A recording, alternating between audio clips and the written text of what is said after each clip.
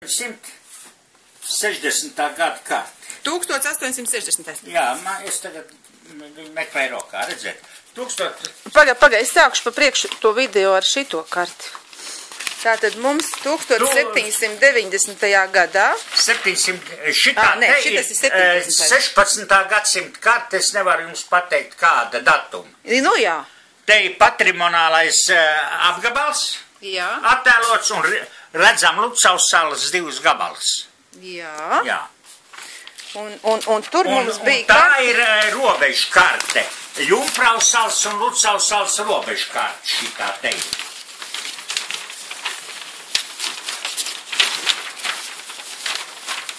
Septiņsimt deviņdesmitais gads, un uz tās ir redzams, ka Lucavas salā ir, un Jumpraus salas masīvā ir trīs mājas un viens veidzirnavs. Pie kam veidzirnavs ir apmēram tajā vietā, kur ir, uh, kur ir uh, piemineklis. Un kas tas ir par pieminiektu? Pagaidiet, es jums tūlīt parādīšu, kas tas ir pa pieminekli. Ja jūs vēl neziniet, un skaitieties Lucavas iezemietis. Tā, Nu, jaunzemietis, teiksim Ak, tā. jaunzemietis, jā. Tā. Skatīsimies, kas te ir. Laikam šī būs. Vai nu 11. Es jums tagad nemāku pateikt. Bet es tūlīt atradīšu. Nē, šī tā nav. Nu, jūs pasakiet no galvas, nemaz ne. Nē, nē, nē, nē, no galvas nevar. Tas nav tik vienkārši. Saprotiet, lieta ir tāda, kā ar to galvu tā ikai.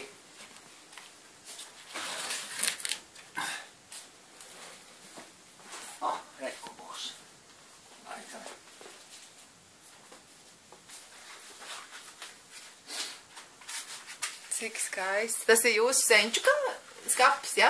Jā, jāmet ārā, jo viņš ir pilns ar ķirmiem. Viņu taču var kaut kādīgi ar ķīmikālijām apstrādāt, ne? Ko jūs sakiet? Nu, tad man bailes, ka vairs nebūs ekoloģiski tīrs. Nu, nekas. Bet, vismaz, Ak, atkal bet nekas. muzejā ieliksim, Lucavas salas muzejā. Mēs tā ārā noteikti nemetiet. Ko jūs sakiet? Jā. Mēs taisam muzeju, tur uh, zaļajā mājiņā, Jumprausalā. Kur ir zaļā māja Jumprausalā? Es tādu nezinu. Hmm, Jūs laik, pat- uz centra jūs- gatves, uz centra gatves tur. Nezinu, centra gatu arī. Tas ir viss grīņas izdomājums. Nu, vienalga. Bet muzejs top. Garajā mājiņā. Zaļā, zaļa tāda maziņa mājiņa. Ar vārdu sakot, viņa neko neēd Viņi nekā nezina. un nekā nezina. Lūdzu, tās piemineklis. Lucavs. Jā, nu, tev, Un to paņemat un izlasiet. Un jūs to Jo, neziniet. Lucavs. Tā.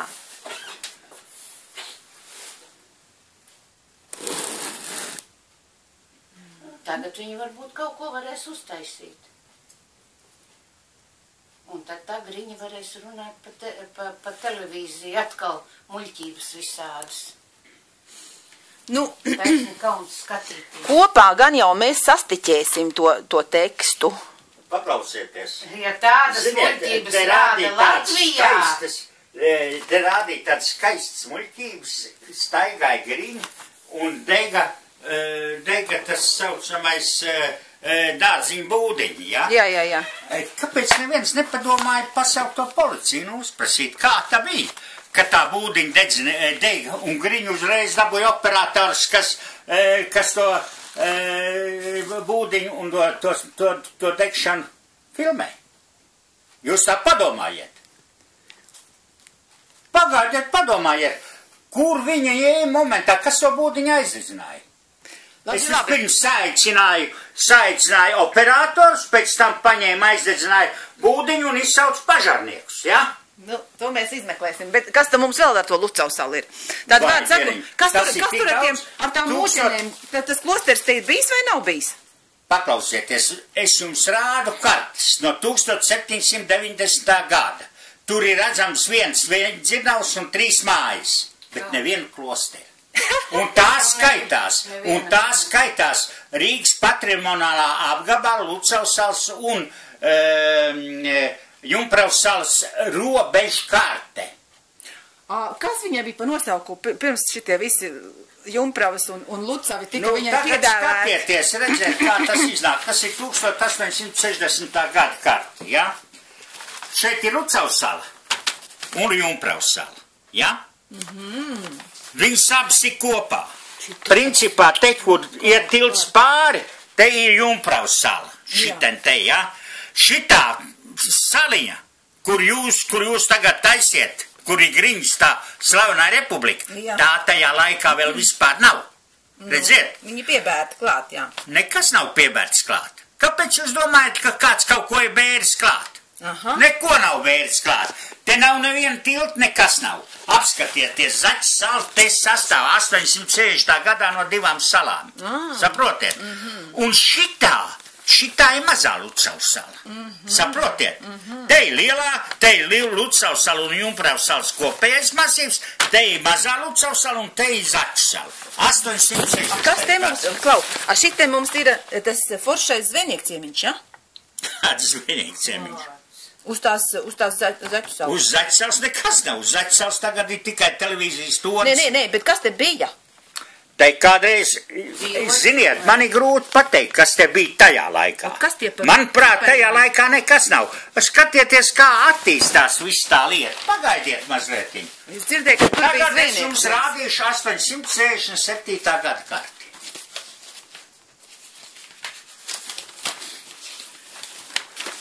1867. gadā, lūk, redziet, ir Lucavas sala, jā, un Jumpraus sala. Mazā Lucavas sala un atkal Zaķa sala no diviem gabaliem, jā. Un redziet, ko veidojās. Mm. Te veidojās pats no sevi, veidojās tas, kur jūs atrodaties. Ar visu savu griņu jā. kopā. Ja? Jā, jā, jā. Bet redziet, tā sala, ko sauc par karseikli, tās vispār vēl pagaidām nav. Jā, jā, jā. Nav. Nu, Pagaid, pagaid, es- Jā. kas tā bija pa karti? Kas mums šitas ir? 867. gada karta. Tas ir kaut kāds vācu variants, ja? Ā, reku kaut kas ir. Skatieties, nu. Šitā. Uhtī, kas pa karti. Pagaid, izstāv visumā. Šitā te viņa mums izskatās.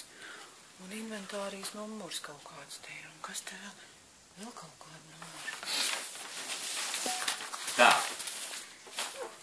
Tagad es jums rādīšu 1876. gada karti.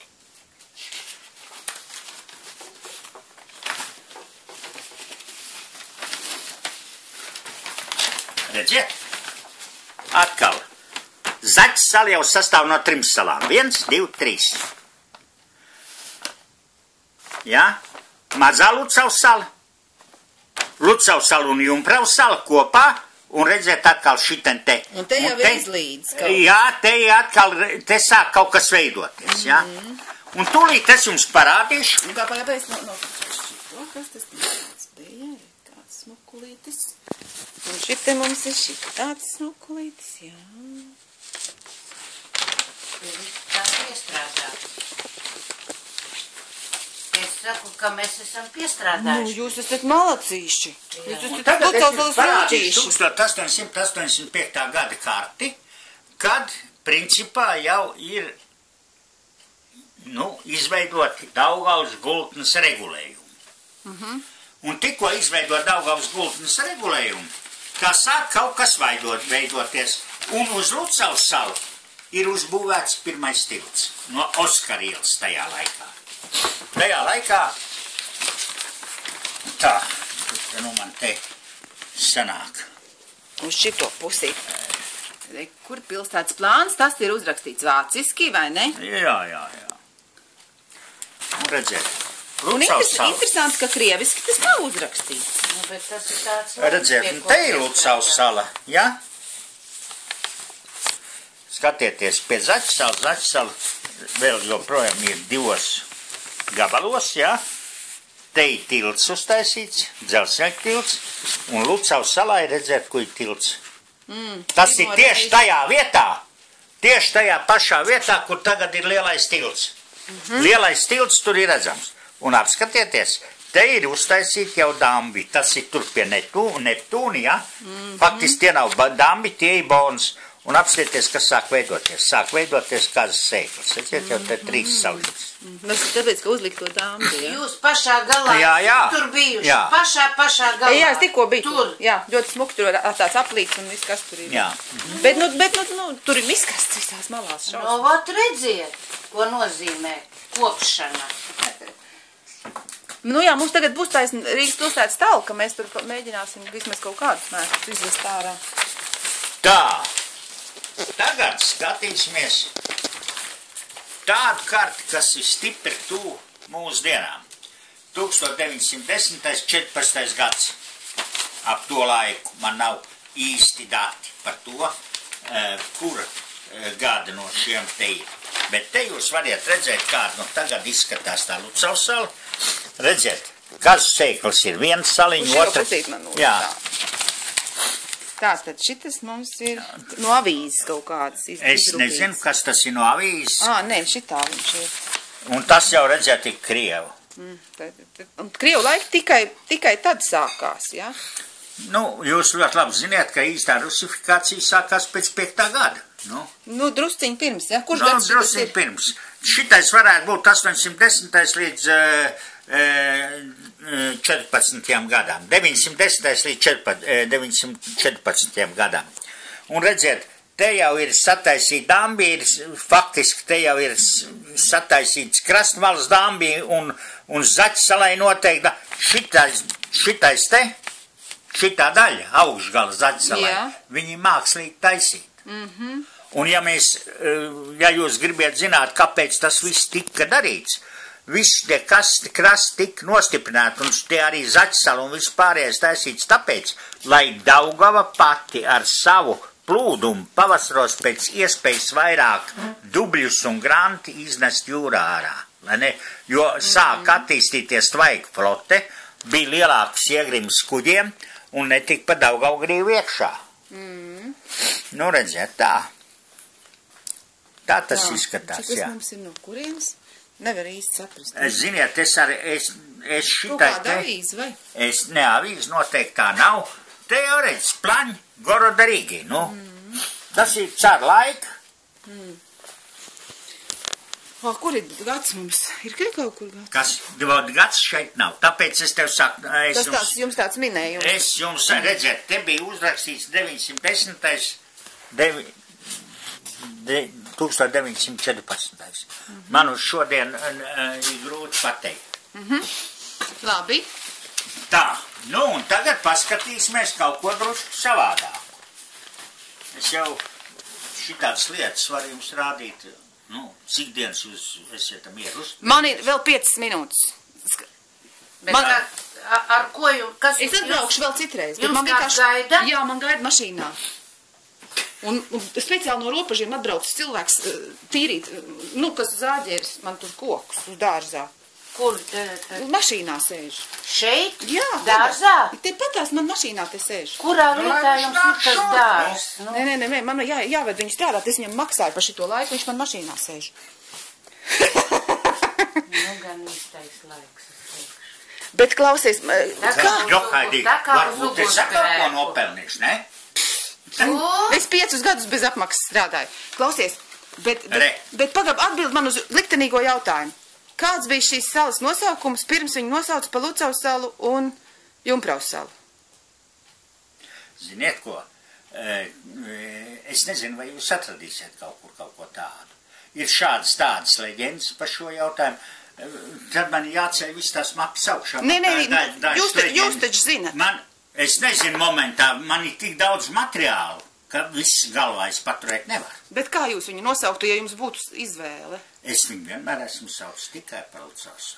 Ja? Jā. Nav Tikai. cita nosaukuma. Nē, Pirms, cita. pirms, pirms tiem krustnešu laikiem. Nē, pirms krusne, paklausieties. Jo Pirms Lucavs jau ir krustnešu cilvēks. lai viņš būtu krustneša cilvēks. Bet eh, pirms Lucavs, eh, pirms krustneša lai, lai, laikiem neviens nekā nevarēja zināt, kas te ir. Jūs iedomājieties to, ka katru gadu jūs esat la- lasījuši tādu grāmatu kā Mana baltā daugava, mūsu baltā daugava. Nesiet. e, dabūniet rokā. Viņa bibliotekās ir šur un tur ļoti maz, mazos eksemplāros. To ir uzrakstījis viens e, ikšķils mācītāja dēls, Baltvācietis, Ēriks Marnits. Un e, tāds, nu, draņķīgs baltvācietis, nevienu vāciešu nav tajā grāmatā pieminēt. Viņš draugi tikai latviešu, latviešu da- laivinieki. Plosnieki, Lai- laivinieki. Plosnieki un zvejnieki. Tikai Un vi- viņš pats, viņš ir pats, eh, eh, pats, eh, Labas vočenes, jā? eh, pats 19. gadsimta beigās, 20. gadsimta sākumā vairāk kārt no Polockas slēdzies lejā. Nu redziet, un šitā te ir Rīgas plāns jau.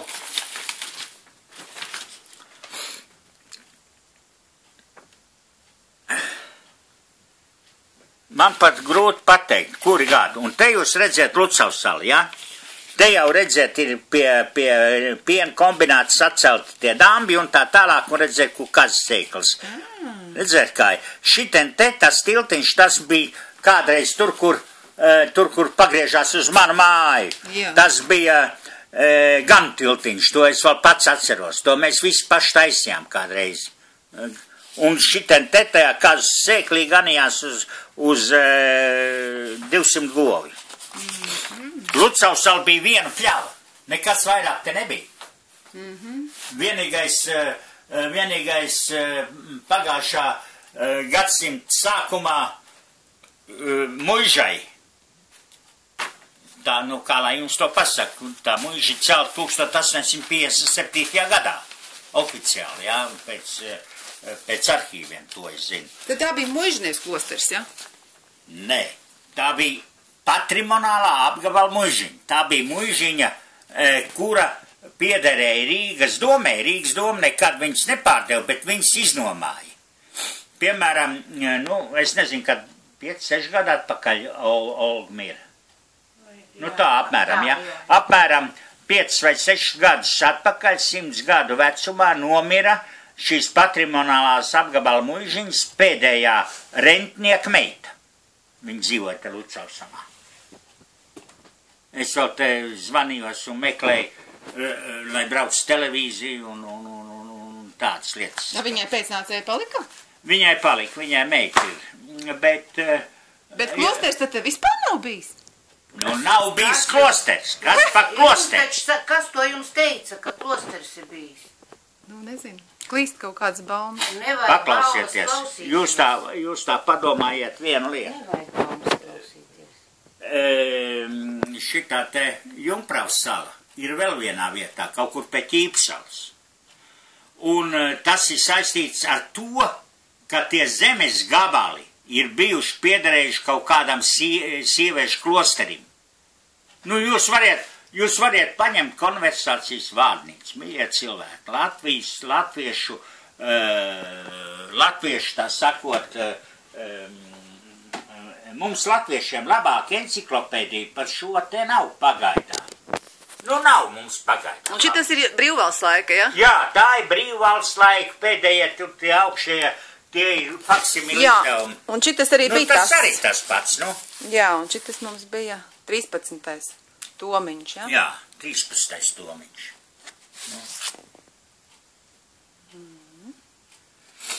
Nu, skaisti, ļoti skaisti. Un kāpēc šo salu nekad nepārdos? Un kāpēc šo salu nekad nepirks? Es jums tūlīt to parādīšu. Nekad nepādos. Jā. Un nekad kāpēc nepirks? Viņi nekad nepirks. Ja dos pavēlu, tad paņems. Pagaidiet, man jāmeklē roka. Nu, mēs paņemsim. Jūs nekad Bet kas būs tas devējs? Viņai īpašnieks patreiz doma taču ir.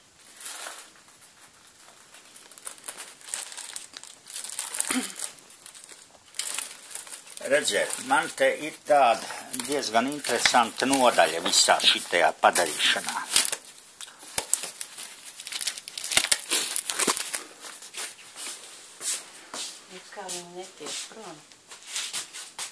Un saucās viņi Rīgas Hessi, tas ir Daugavs Hessi. Daugavs hidroelektrostaciju kaskāde. E, Latvijas padomju enciklopēdija otrais sējums 445. lapas pusē, jā. Izveidot pie Daugavas Latvijas PSR teritorijā darbojās ķeguma HES 1939, Pļaviņa HES 1965, Rīgas HES 1976. gadā. Būvē Daugava pils HESu, būvē 1982. gada projekta jauda būs 300 megavati. Nu, kā jūs zināt, tad uzbūvēja. Ķeguma HES celta 1936. līdz 39. gadam. Kopējā jau 260 megavati. Ūdens krātūs platība 24,9 kvadrātkilometri. Spied, spiediena augstums 14 metri. Ūdens krātūs tilpums 150 miljonu kubikmetru. Pļaviņa Hes. Būvēts 61. gadā 900, līdz 965. gadam. Kopējā jauda 825 megavati ūdens krātuves platība 35 kvadrātkilometri, ūdens spiedaugstums 40 metri, ūdens krātuves tilpums 509 miljonu kubikmetru. Daugavs Hess. Celts 66. līdz 76. gadam darbojas kopā sep, e, kopš 75. gada. Kopējā jauda 402 megavati. Ūdens krātuves platība 42 kvadrātkilometri, spiediena augstums 18 metri, ūdens tilpums 339 miljonu kubikmetru. Un tālāk tie ir ļoti maz dati, kas ir ņemti no periodikas. Ja? Un te aprakstīts par to, cik nestabila ir pļaviņu hes, un viņa var braukt. Katrs, kas gribēs, ja te jau arī aprakstīts tas, ja pļaviņu hes brauc, nu tad ziniet, pēc stundām, piecām, desmit, es esmu 5 metri zem ūdens, ar visu savu māju un visu pārējo. Un tāpat, ja ķegumi hes. Jūs tā, ja, nē, tad brauc, ja pļaviņa hes brauc, un tā ir vis, ne, nu, vis, vis nestabilākā hes, kas te ir aprakstīta. Es pats esmu tur bijis, vai ne? Un skaties, kā tas izskatās. Mm, nu, te jūs tā padomājat, tad brauc arī ķeguma hes. Tad brauc arī Rīgas hes. Ak, Dievs, nu jā. jā. Tad ir vesels un, domino. Jā, tas ir domino efekts. Un mēs esam zem ūdens. Jūs padomājiet vienu lietu, mīļie cilvēki. Kas, lai, lai, lai. kas maksās uz Šakova un, eh, un šitam te saucamajam eh, Burovam 60 eh, miljonu eiro? Nepadomājis par to, kas te var notikt. Mēs taču ļoti labi zinām, kas notiks šus Sušenskas Hesā. Nu? Un, nē, saprotiet, vienīgi redziet, te jau ir ļoti interesanti. Apskatieties, dramatiski brīži ķegumā. Ķegumu vēl cēla, un viņam e, tur iznāca liels nepatikšanas. Tā kā es gribētu teikt tā, es nezinu, kas viņu pirks, un vai kāds pirks. Jo katrs, kas šodien iegulda naudu, iegulda viņu, lai rīt dubultīgi dabūt atpakaļ. Te dubultīgi atpakaļ nevar dabūt. Es jums varu parādīt tos būrau kunga noteikums, uz kādiem uh, pēdējiem noteikumiem tā izsoli tika organizēta. Ja? Jā. Mīļie cilvēki, tur ir redzams, ka tas cilvēks, kas tos noteikumus izstrādājis, viņš nav bijis Lucausalā, jeb viņam ir sajukušas vispār, nu, varētu teikt, debespuses. Jā. Jo viņš taisās celt Lucausals aizsardzībai no um, plūdiem, dambi, uh, dienvidu rietrumu pusē bet viņam ir jāceļ. Šī pa šito pusi jāceļ. Tas dāmas, ja grib aizsargāt Tucavu salu. Es esmu šeit 75. Kāpēc? Es esmu šeit 75 gadus nodzīvojis. Piedzims. Jā, piedzims. Jā, pie, tieši tieši Lucavas salā piedzims. Es jums varu parādīt dzimšanas apliecību, kur ir rakstīts, ka es esmu dzimis Rīgā, Lucavas salā 7, dzīvoklis 6. 6 no rīta, 6. aprīlī 40. gadā. Apsveic jūs dzimšanas dienā. Nesenajā. Jā. Tā ir pagājusi jau. Tā kā redzēt, eh, man vēl ir brīvvalds, brīvvalds laika arī. Jubileja bija 75, vai ne? Jā, bija tāda. jā. Tagad, nu, pat nosvinējām. Nu, liels paldies jums, ka jūs nokrā... savācāt šā, šādu fantastisku mantojumu mums, Gunāriņ. Tas jau nav vēl. Jūs izlasiet to, ko es aizrakstīju uh, literatūras vēsturei uh, ilustrētai. Jūs izlasiet to. Jā, to es tagad uzfilmēšu iekšā, lai visi var izlasīt. Tas ir ļoti interesanti. Un ko atbildēs, vajag gaidīt žurnālu. Nu, atbildēs viņi. Viņiem jāatbild. nu, viņam māk atbildēt. Uh, Paklausieties. Kā pīlai ūdens saprotiet, viņiem tie lieta fakti. ir tāda, ka viņi nevarēs atbildēt. Viņi nevarēs, viņi vienkārši neatbild un viss, un tāda viņiem ir tā nevara. Nu, es nezinu, kāpēc jūs domājat, ka nevar. Viņi mums neatbild, vienkārši viņi zina, ka viņi nevar atbildēt. Kādos ir- jautājumos viņi jums neatbild? Bet, nu, ne par to tagad ir stāsts. Eh, Es gribu, piemēram, zināt, eh, nu, redziet, man ir izraksti no šitā saucamā Krieva avīzes veski. Un tur ir rakstīts, ka tēvs Aleksandrs 2001. gadā eh, sveitīja pieminekli pēc, eh, un, un viņš to dara vietā, kur ir apglabāti 400 Krievu karavīri. Un es, piemēram, uzskatu, ka tur nav neviena Krievu karavīra apglabāta. Neviena? Es zinu, ka jums ir grūtības lasīšana, es jums nolasīšu. Cienījumā redakcija, jūs žurnāla iedaļā jautā viesturniekiem ietvaros, man ir daži jautājumi, kas saistīti ar man dzimšanas un dzīves vietu Rīgu Lucau salu. Jo tieši šeit es 40. gada 6. aprīlē esmu dzimis un visas savus 705 mūžu gadus nodzīvojis. Ja nemaldos, 2001. gada 10. jūlijā Rīgā Lucavas salā notika interesants notikums. Acīm redzot, otro reizi savā pastāvēšanas laikā salas piemineklis tika svētīts no pareizticīgās baznīcas galvenā priestera Latvijā tēva Aleksandra. Jo netic, ka 891. gadā atklāto pieminekli Lucavas salā toreiz pareizticīgo baznīca nebūtu apsvētījusi. Man tas arī neuztrauc, viņi to pieminekli var svētīt kaut vai katru gadu. Man uztrauc vesti 2001. gada 11. jūlijā numur 160 tiekvās 598 rakstītais. Te nu tas būs pievests manā tulkojumā no Krievu valodas. Pēc Krievu bērnu kora priekšnesumu uz lauku skatuves tēvs Aleksandrs noturēja aizlūgumu Pēteru zaldātu bojā ejas un apbēdīšanas vietā. Es piedalījos kā skatītājs šajā visajā, visai interesantajā pasākumā, un tā laikā man radās daudz jautājumu. Dažs no kuriem es uzdevu pasākumu rīkotājiem, bet tie man piedraudēja, un man bija jāatstāj šis brīvdabas pasākums, kurā starp citu piedalījās Krievijas un Ukrainas vēstnieki, pārstāv no Baltkrievijas vēstniecības, Rīgas vicemērs Dolgo Polovs un mūsu vienīgais komunists Alfreds Rubiks. Tur bija arī kāds, kas tika dēvēts par vēsturnieku un kuram es uzdevu jautājumu, uz kuru viņš man nevarēja atbildēt. Šis jautājums bija, kas vadīja Krievu 400 zaldātas kaujā ar Zviedriem, kāda bija šī vad, vadītā e, militārā pakāpe. Atbilde bija, tie bija Pēteri iekvās Petrovskijas soldāti, zaldāti. Es iebildu, ka Pēters pirmais nekad Lucavsalā nav bijis. Pēc šīs iebildes man arī ieteica aizvākties, un es to arī darīju. E, Rakst e, darīju. Ir vēl viena publikācija, šoreiz 2000. gada 12. jūlija Rīgas balss raksta. E, Palīgā poļu sakšu karavīriem no Pleskavas devās 400 Krievu zemsargi. Viņiem bija pavē, pav, e, viņiem pavēlēja gaidīt komandas Lucavas salā. Viņi arī gaidīja, bet nesagaidīja. Viņus vienkārši aizmirs.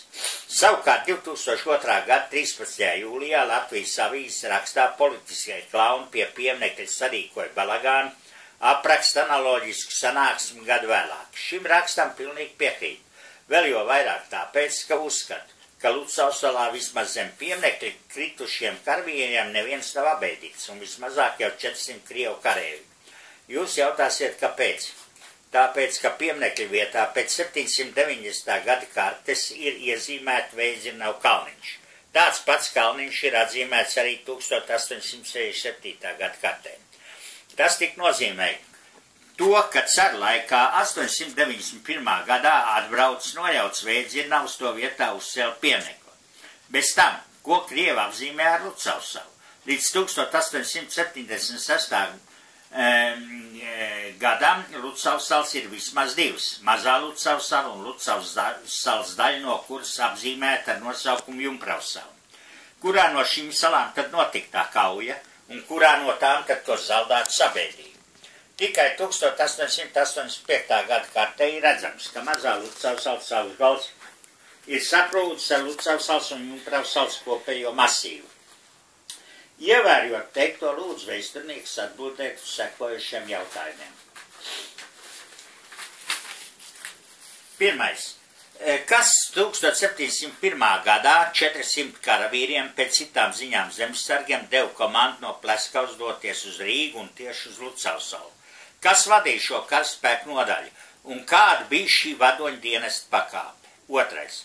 Kā un kas un uz kuru Lucavsalu ievērojot to, ka no 1701. gada līdz 1885. gadam bija vismaz divas Lucavsalas, palīdzēja Krievu nodaļai pārkļūt. Kārlim 12. uz pilsas pļavām palīdzēja pārcelties zvejnieku un mašķirotāju cimts locekļi gubernatoru Ērika Dalberga vadībā. Bet pa kas palīdzēja Krievu nodaļai? Trešais kurā Lucavsalā tad notika tā kauja? Mazajā Lucavsalā vai Lucavsalā? Ceturtais. Vai tiešām Lucavsals piemineklis ir 400 Krievu karavīru bojā ejas un abēdīšanas vieta? Ja nē, kur tad viņi ir abēdīti un kā patiesībā uzcelts piemineklis šajā vietā, kur kādreiz bija šveidzirnavs? Piektais. Padomu iestādes manā bērnībā no pieminekļa izkal kaut kādu uzrakstu. Uzraksts nav atjaunots. Varbūt ir zināms, kas bija vēstīts šai uzrakstā.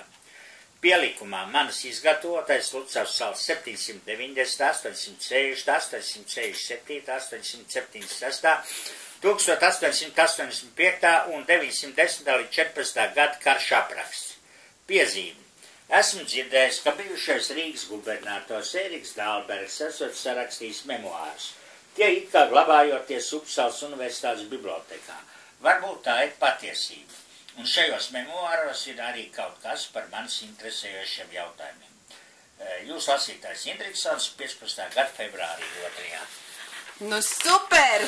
Jā, bet redziet, lieta jau ir tāda, te jau varēja pie, pierakstīt vēl šo to klāt. Un piemēram to, ka cars Pēters I Rīgā ir bijis pirms 1700. gada, kad viņš ar lielo vēstu sūtniecību kopā brauc uz Holandi, mācīties šaut ar lielgabalu un būvēt kuģus. Viņš toreiz bija uzrāpies uz Rīgas mūriem, un Zviedru militāristi viņu novāca nost un teica, te tev nav ko skatīties, tu vecīt vācies prom. Un tagad iedomājieties, nu tas varēja būt 895. gads, es vairs neatceros gadu, kad notika lielā sūtniecība, ja? Bet, nu, tas ir pirms 700. gada. Un iedomājieties, 701. gadā jau atrodas tādi dižgari, kas no Pleskavas zina sūtīt 400 krievus uz Rīgu, uz Lucavas salu, un tur gaidīt komandu, jā. Nu, tas ir tik skaisti. Bet ir vēl viena lieta. Jūs redzējāt 790. kartē, ka ir atzīmēts tikai divas, tas ir trīs mājas un veidzirnavs. 790. kartē. Es gribētu zināt, cik mājas 701. gadā bija Lucausalā. Un tālākais, lai katrs palas vēsturu un atcerās to, ka tā laika kari tika dibināti uz vienu izlaupīšanu un izbūšanu. Pēc lielās ziemeļu kara ir aprakstīts vēsturē, ka varēja aizbraukt no Rīgas līdz Pleskavas un nedzirdēja gailu dziedam un sun rejam. Viss bija izlaupīts un, un tā tālāk. Un iedomājieties, tagad Lucausalā dzīvo 200 cilvēki apmēram, 200 iedzīvotāji, nu, lai būtu 300. Bet ko rija un ēda tie krievi? 400, kas bija atnākuši šiten te, kas viņus komandēja, ar ko viņi karoja un, un, un Nu, jūs Nu, saprotat? nu, skaidra lieta, jā. Nu, Es ļoti. esmu bijis Kaļiņģeradā, un tur ir e, Pripeters tie ir 75. gadi vēl, kad Ļiņģerad nebija pilnībā atjaunot, un es nezinu, vai viņi vispār kādreiz pilnībā atjaunos, ja? Labi, Gunār, milzīgs Jā. paldies jums par tik izsveļošu reportāžu. Un es domāju, ka skaidrība skatītājiem radās. Kādiem skatītājiem? Nu, šī video skatītājiem. Es nezinu, vai tā. Paldies, ka jūs man ielaidāt sētā momentā, uztaisījāt interviju. Jūs esat vienkārši ģeniāli, tiešām. Paldies jums par uzticību un lai mums izdodas Lucavs vēl noturēt. Uzvārdu paprasīt.